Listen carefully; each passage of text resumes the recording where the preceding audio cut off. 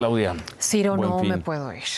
Buen fin de semana, pero antes de irme, sobre el caso de María Fernanda, ayer informamos que la Fiscalía de Berlín aseguró que hasta finales de agosto, principios de septiembre, van a concluir los estudios para determinar la causa de su muerte. Que quizá hasta esas fechas, dijo la Fiscalía de Berlín, el cuerpo de María Fernanda podría ser entregado a sus padres. Pero hoy hablamos con su papá, el señor Javier Sánchez.